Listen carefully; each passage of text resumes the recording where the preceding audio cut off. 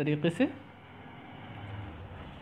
ठीक, ये देखते जाइए, यहाँ पे सिंपली वैल्यू पुट की गई है। साइन टू एक्स की वैल्यू हो गई two sine x cos x वो रख दिया गया। और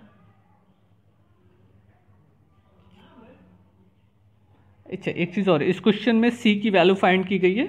यहाँ पे y की वैल्यू दी गई थी, y is equal to two and x is equal to pi by two तो यहाँ पर हम x एंड y की वैल्यू पुट करेंगे तो c की वैल्यू हमको मिल जाएगी। जब c की वैल्यू मिल जाएगी तो वापस इसी इक्वेशन में लाकर c की वैल्यू रख दी जाएगी तो हमारा फाइनल रिज़ल्ट तैयार हो जाएगा। ठीक तो बस इतना ही काम इसमें किया गया था। आइए फिर से ऊपर से एक बार दिखा देते हैं क्या क्वेश्चन है। हाँ ये हो गया डी वाई डी एक्स और एक फ़ंक्शन है। यहाँ से कंपेयर किया हमने पी एंड क्यू की वैल्यू मिल गई। जब p की वैल्यू मिल गई तो इंटीग्रेटिंग फैक्टर का जो मेथड था, उसमें ला के वैल्यू पुट कर दी गई।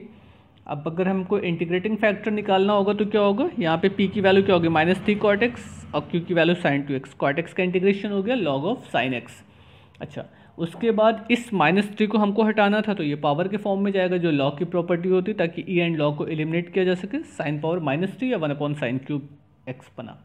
तो इंटीग्रेटिंग फैक्टर हमको मिल गया। अब इसके बाद हमको जनरल सोल्यूशन निकालना था। जनरल सोल्यूशन में क्या हो जाएगा?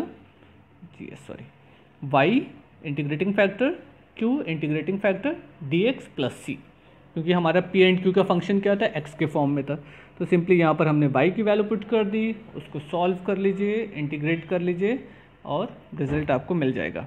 यहाँ पे साइन टू एक्स को ब्रेक किया है two sine x cos x में. तो एक साइन कैंसिल हो गया, इसलिए स्क्वायर आ रहा है, बाकी ऊपर का कॉस बचा हुआ है. इसको आप cosec x into cot x लिख सकते हैं क्योंकि cos upon sine into one upon sine नीचे बचेगा।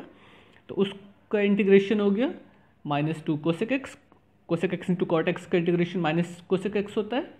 उसके बाद हमको एक्स एंड वाई की वैल्यू पुट करनी according to question it is already given in your question so y is equal to two and x is equal to pi by two substitute here you can find the value of c. And then finally put the value of c in the equation number. Suppose here equation number 1 so in, from equation 1 y is equal to minus 2 sin square x plus 4 sin cube x.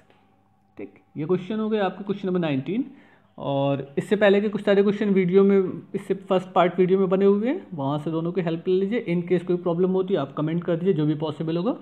जल्द से जल्द provide करा दिया जाएगा। Thank you everyone all the best for your board examination